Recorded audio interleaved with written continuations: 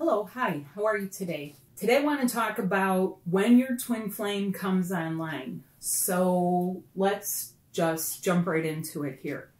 The twin flame is online. Now, a lot of people have been wondering, like, what happens on the other side? By now, some people have developed a little skill at tuning in, but sometimes it's confusing.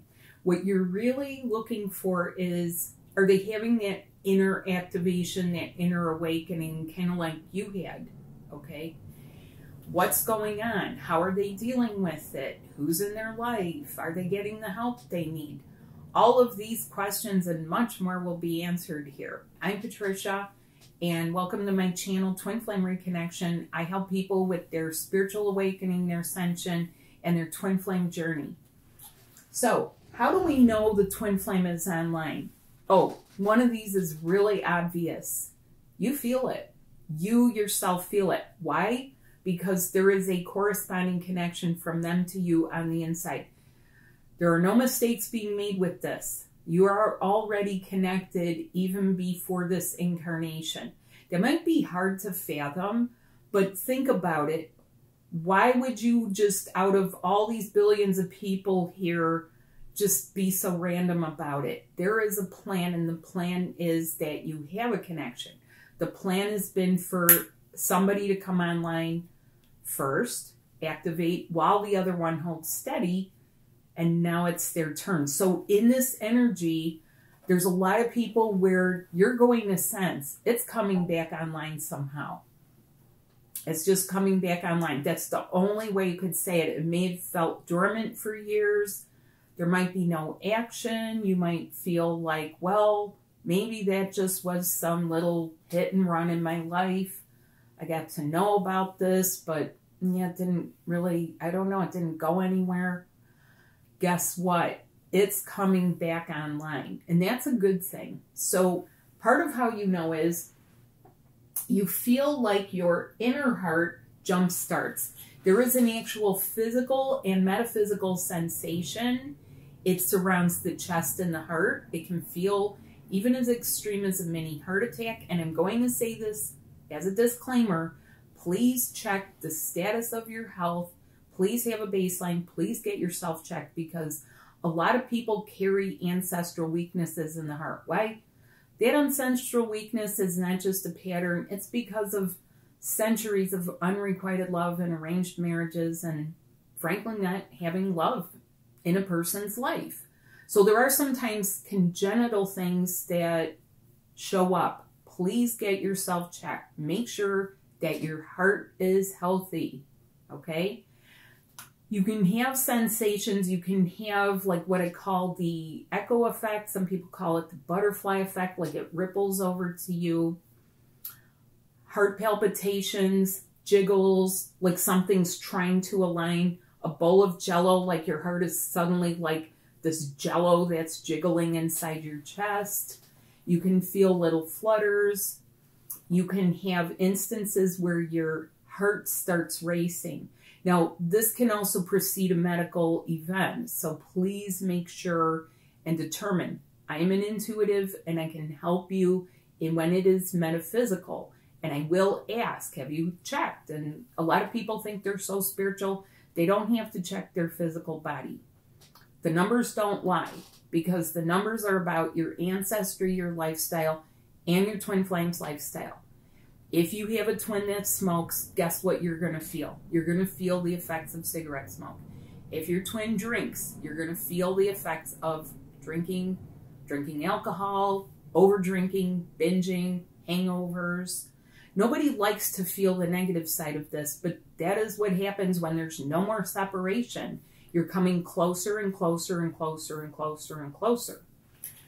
Now, this energy in this coming online is particularly for men and masculine LGBTQ people, okay? People who feel themselves primarily as masculine or totally masculine.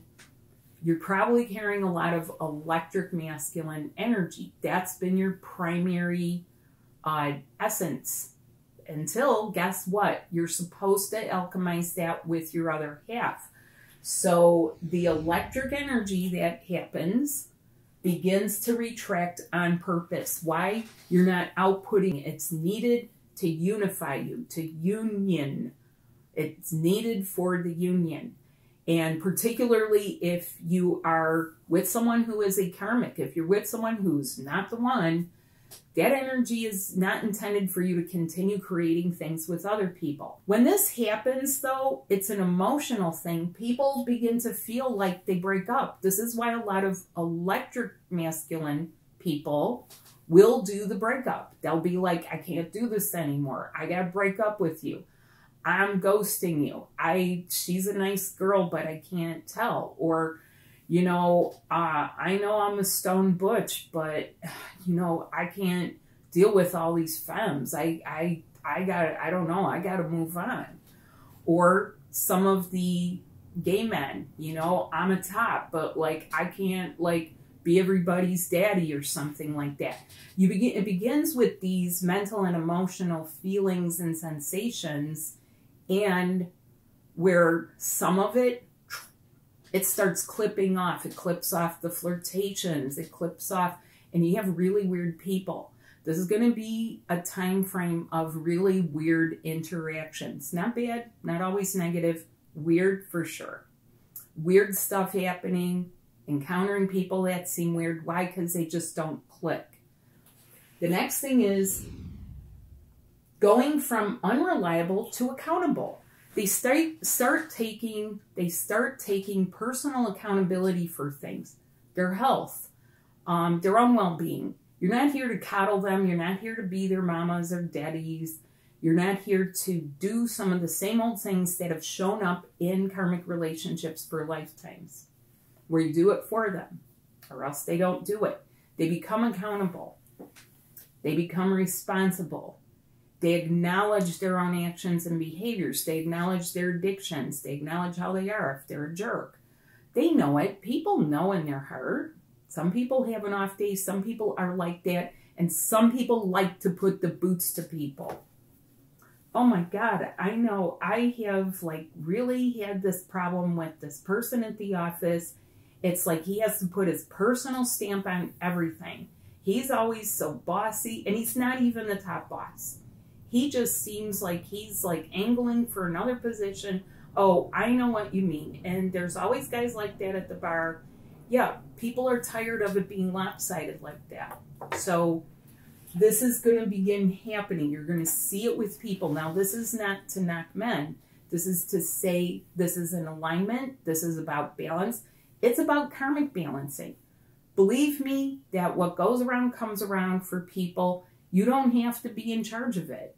Other crap happens to people when they are jerks. It's not going to be like someone being jerky to them. It's going to be maybe their car does break down. Maybe something unfortunately happens to something in their family. They have a large expense that they weren't expecting and they were all high and mighty and there you go. Some crap happened and the hit the fan. Okay, this is an energy where quite literally that kind of stuff will be hitting the fan. Now, when your twin flame is online, when your twin flame journey comes online, you feel it. You should feel it. If you're feeling nothing, it is really time to join us. Really, please start investing in yourselves because while this is a lot of good information, I teach you how to do it. I'm teaching you how to fish. I'm not just handing you a fish. Not just whipping out a card that's generic for a lot of people, hoping that, you know, it fits somebody and saying weird, vague things like, if this, if this is, if you discern this is for you, then let it resonate. And if not, I, I don't mean to offend you. It's time we get off that stuff and start getting our acts together on this. So you should feel it. And now it is their turn. What do you do when it is their turn? The very thing that many people have been waiting for. It's their turn. They should be doing this. They should be running the obstacle course. They should be going through all their paces. They should be purging. Well, guess what? It happens on both sides. It is not just the feminine that is being dragged through the mud, nor did they create the mud, nor do they want to stay muddy. Most feminines want to, you know, be who they are and not have all that stuff burdening them. Well, guess what? It's their turn. How do you do this? You help, okay? Just like you would do with anyone that you love. You help. This is your other that you're loving. You're helping. Do not get high and mighty about it. Do not feel like, well, I did this, they should do that. It's very much human nature to be vindictive, to retaliate, to feel uh, like you want to get back at someone. That doesn't work because that is not a relationship. Those things happen in karmic relationships. This is you. Whatever you dish, it's going to ping right back to you. So don't do it. You help by doing you. You do by being through the twin flame reconnection. Also, some other things to mention. If you're feeling your twin flame journey is coming online again, be celibate, focus on your health, and learn from me how to do twin flame breath. I have a great tutorial for this. And be expectant, okay? A lot of people think they've just been waiting in the wings. No, there is a huge plan. There's big stuff coming. So you will be glad you persisted. So please join me. Please check out my new website at Twin Flame Reconnection. We have tutorials, books, webinars, and sessions and coaching.